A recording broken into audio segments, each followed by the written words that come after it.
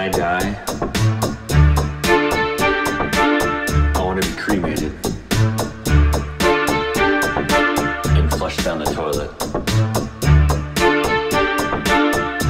because I don't give a shit.